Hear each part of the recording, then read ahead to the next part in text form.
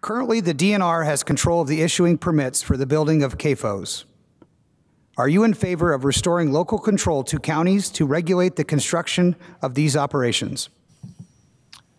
So, short answer yes. Uh, my political philosophy is definitely grounded in local control, self government. Uh, my constructive criticism to the JFAN crowd at their emergency meeting on September 5th is local control sounds great, but you need to consistently apply it. And it needs to be an overarching mindset of restoring power to the local communities. You can't advocate for local control on things you like and then totally ignore local control on things you don't. That's inconsistent and leading to failure. Um, and this is, I think, the biggest thing is no matter what the decision is on any of these issues, the decision should always be made in the best interest of the community. The decision should never be made because a bureaucrat said so.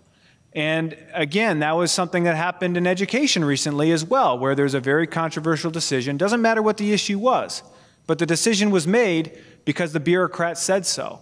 And that's one of the reasons I'm running for office is we need to make sure that our local leaders are always making the decisions in the best interest of the community, everything considered. The local leaders have the power, and no matter what the decision is, it's always made because this is in the best interest of our community, not because the bureaucrat said so.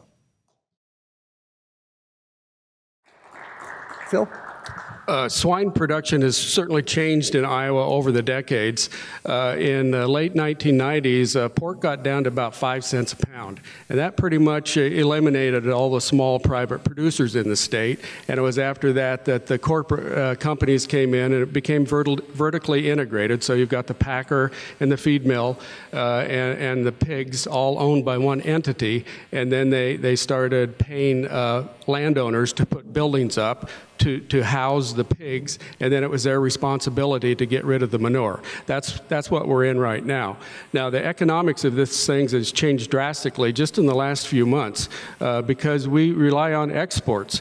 And if we can't export all that pork and all the freezers in the country are full, uh, there may not be any place for some of this stuff to go. So the expansion of the uh, pork industry may be uh, coming to a, a halt here in Iowa because of of, uh, of the economics of it. But I do believe that the matrix that was set up in 2002 needs to be relooked at all the way through. Uh, that's uh, almost two decades old and things have changed. I do believe there should be a way for some more local control and uh, uh, I think, again, uh, we can solve this problem.